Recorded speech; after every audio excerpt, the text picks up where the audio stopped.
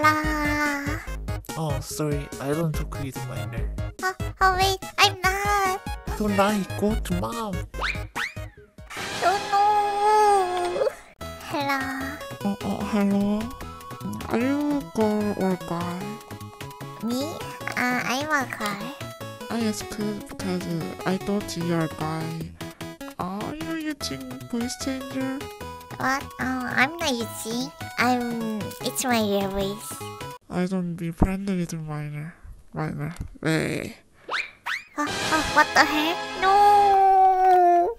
Hello. I'm sorry, you're the guy, and I'm using voice changer to make girl voice. Can I send you friend request? What? Uh, I'm sorry. I don't be friend with you, weird man. Have a good day. Hello. Are you having fun in this world? Oh, you look so kind. Oh, wait, wait. I'll send you a friend request. Oh, you sent me a friend request. Oh, thank you. It's the first time someone sending me friend request to me after talk. I'm happy to meet looks my age finally. How old are you, by the way? I'm 14 years old. It's not make sense. Can you understand? I went public world for two hours, but I couldn't make even one friend. Everyone just run away after talk with me.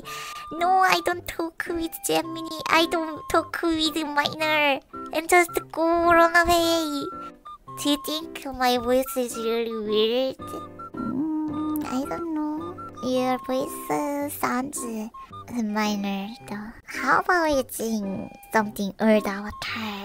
I even tried using Eagle avatar, sexy avatar, monster avatar, ugly avatar. Anything I tried. Anything I tried.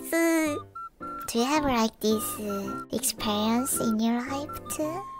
My new life friends always said me, if someone loves me, they are not normal. How come?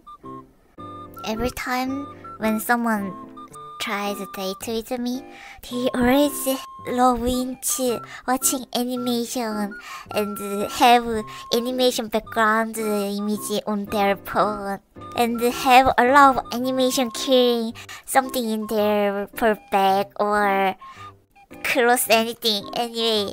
So always my new life people said to me, if someone love you, be careful them because they are definitely pervert or lori. Oh